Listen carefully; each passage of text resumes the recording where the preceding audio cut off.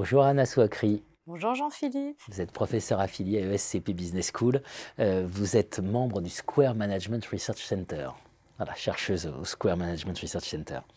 Tribune dans l'opinion avec Jean-Marc Daniel.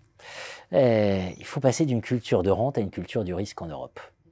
Voilà. Donc ça veut dire qu'en Europe, on a une culture de rente et pas de risque. C'est ça que vous défendez comme thèse. Et, finalement, alors, ma première question, c'est euh, pourquoi c'est important de comprendre un peu ce qui motive des décisions d'investissement en termes de capital risque? Ah, On a vu le rapport Draghi, parmi euh, plein d'autres rapports ces derniers temps, a montré le décrochage aggravé hein, de l'Union européenne par rapport aux États-Unis en termes d'innovation et particulièrement d'innovation dans les projets très risqués qui sont caractéristiques de, des hautes technologies de demain et d'avenir qui servent, qui servent nos besoins, notamment tout ce qui est intelligence artificielle, biotech et autres. Donc, il est important de comprendre bah, pourquoi on manque d'investissement, parce que c'est ce qu'a montré notamment le, rapport. Bah, pourquoi on est en retard? On est en retard parce qu'on n'a pas assez de start-up, justement, sur ces sujets-là. Et pourquoi on n'a pas assez de start-up? Parce qu'elles ont du mal à trouver des financements. pourquoi? Pourquoi il y a ce manque?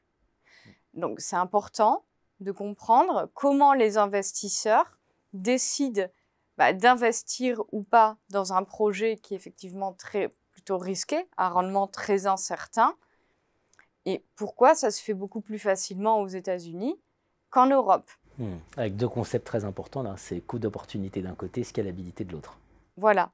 Parce qu'en fait, un investisseur raisonne en termes de coût d'opportunité. Investir, ne pas investir, investir dans un projet A plutôt qu'un projet B. Mm. Donc, voilà. Bon, il réfléchit en termes de cost-benefit. Hein. C'est plutôt classique et notamment sur plusieurs critères. Bon, il y a les caractéristiques de, du projet en lui-même, donc ce qu'on appelle le product market fit. Mm. Euh, et euh, donc euh, la croissance de, du marché en question. Mm. Le capital humain, le capital humain et social de l'équipe et euh, le potentiel de développement. Et voilà. Et bien sûr, le potentiel de développement, c'est-à-dire la scalabilité. Alors, ce qu'on appelle l'étape du scale-up, qui est vraiment la phase critique où la startup commence à commercialiser à grande échelle et à rendre du coup à des prix beaucoup plus accessibles les solutions innovantes. Hmm.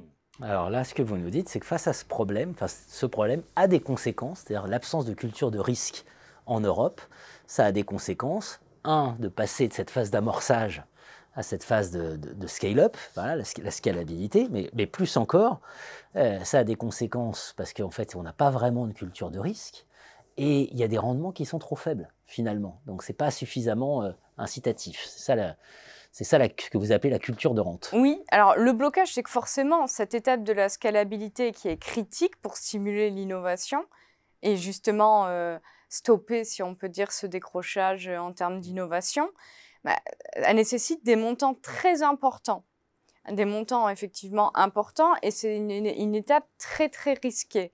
Donc euh, il est impératif effectivement euh, bah, de mobiliser tout un écosystème d'acteurs, donc des investisseurs, mais également des infrastructures et tout un écosystème de relais, à savoir par exemple des business angels, euh, des incubateurs, des accélérateurs, etc., de, manière à pouvoir bah, permettre ce scale-up et encourager à investir justement dans ces projets, euh, dans ces projets très risqués.